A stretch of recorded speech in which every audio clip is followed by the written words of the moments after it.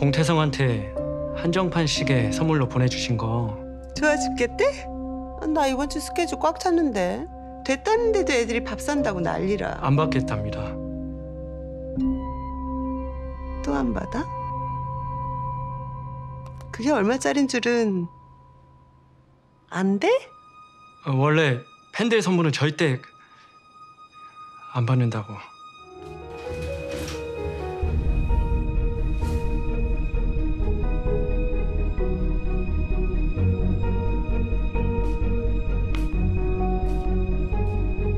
안녕하세요. 오늘부터 일하게 된 권명이라고 해요.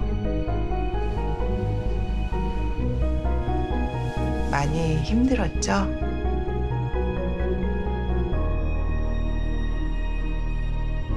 나도 소중한 사람을 잃어본 적이 있어서 잘 알아요. 그래도 사람은 햇빛을 보고 살아야 하더라고요.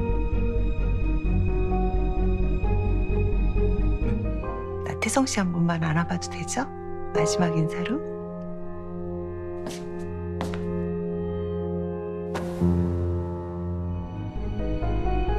그러니까 선물 줄 때 좀 받지 그랬어.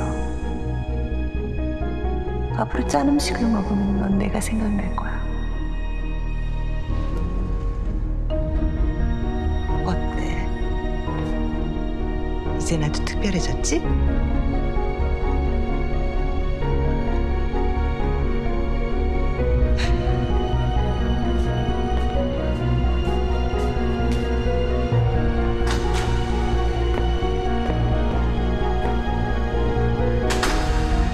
무슨 의도로 이러신 거죠?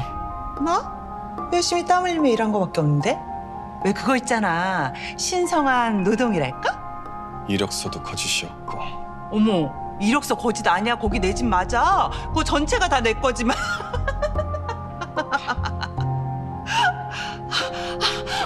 아, 뭘 그렇게 봐. 누가 보면 내가 불법이라도 저지른 줄 알겠네.